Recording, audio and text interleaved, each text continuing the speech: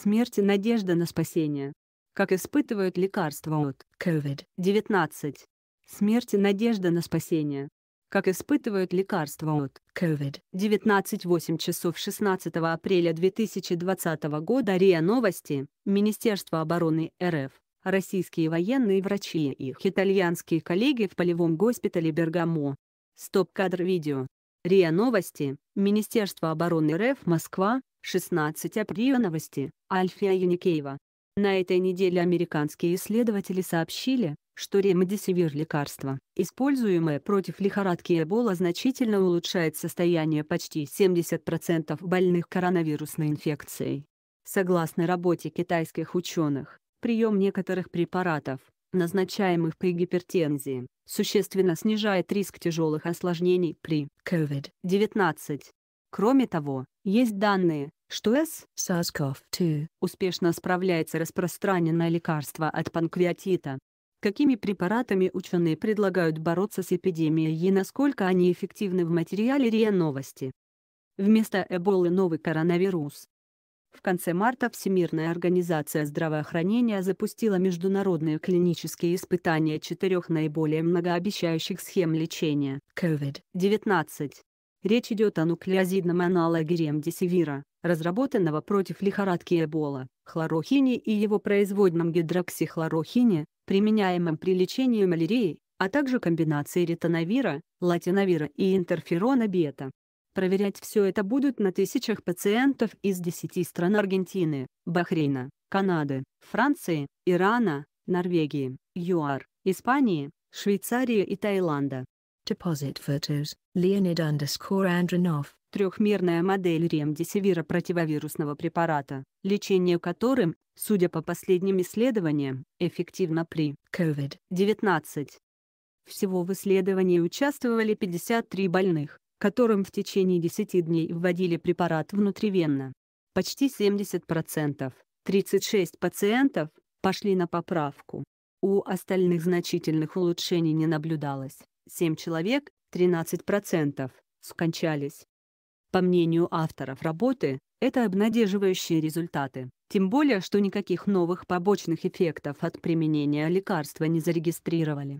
Вчера, 02.47 распространения нового коронавируса подтверждена эффективность блокирующего коронавирус лекарства смертельной и токсичной действенность второй схемы списка восхлорохина и его производного гидроксихлорохина пока вызывает вопросы. Во всяком случае, одно из последних испытаний на людях французские медики лечили таким образом 19 пациентов с COVID-19 не порадовало. Тем не менее ранее этот препарат в комбинации с антибиотиком азитромицином дал эффект почти 40 пациентов с легкой формой новой коронавирусной инфекции выздоровели. Хорошо справлялся с SARS-CoV-2 хлорохин в экспериментах китайских ученых. В комбинации с другими лекарствами эти препараты, возможно, токсичны, считают американские ученые. Так, мыши, которым вводили хлорохин или гидроксихлорохин в сочетании с метформином, в 30-40% случаев погибали. 23 марта, 11.41 РИА Наука лекарства от коронавируса успешно испытано во Франции также, по данным китайских ученых неэффективна против нового коронавируса комбинация ретоновира и лапиновира, обычно применяемая для лечения ВИЧ-инфицированных. Терапия этим препаратом не облегчила состояние ни одного из 200 пациентов с тяжелой формой COVID-19. Правда, сами авторы работы отмечают, что теоретически на более ранних стадиях болезни сочетание ретоновира и лапиновира может помочь. Неожиданное открытие еще одним перспективным средством считаются адъювантные препараты, назначаемые при гипертензии, ингибиторы ангиотензин превращающего фермента Assay и блокаторы ангиотензинового рецептора. 2. ARB Китайские исследователи, анализируя результаты лечения от COVID-19 564 пациентов, обратили внимание на то, что те, кто вместе с противовирусными препаратами получали ингибиторы Assay или ARB реже страдали тяжелой пневмонией. А именно, из 16 больных только один. Для сравнения, из 49 пациентов, принимающих другие адъювантные препараты, пневмонию зафиксировали у 16. 13 апреля, 11 двоеточие 12 распространения нового коронавируса ученые рассказали об антителах, способных нейтрализовать коронавирус. По мнению авторов работы, ингибиторы влияют на экспрессию ангиотензин превращающего фермента 2, ACE2, рецептора, считающегося входными воротами в клетку для нового коронавируса. Несмотря на столь обнадеживающие результаты, ученые отмечают, чтобы окончательно подтвердить терапевтические свойства этих препаратов, нужны исследования с большим количеством пациентов.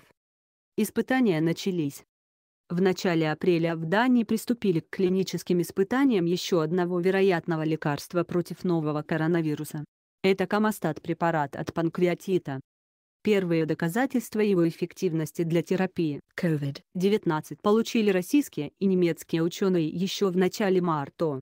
Они проверяли влияние камастата на размножение SARS-CoV-2, в культуре клеток легких.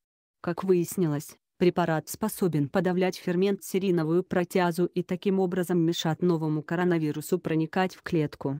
6 марта, 08 двоеточие 00 РИА Наука это сейчас единственное оружие. Мифы и правда о коронавирусе теперь же в датском королевстве Камастата пробуют на людях. Несколько из 180 добровольцев с подтвержденным диагнозом COVID-19 в течение пяти дней будут получать по 100 мг препарата три раза в сутки. Такова максимально разрешенная доза при терапии панкреатита. Остальным дадут плацебо. Первые результаты обещают представить уже через месяц.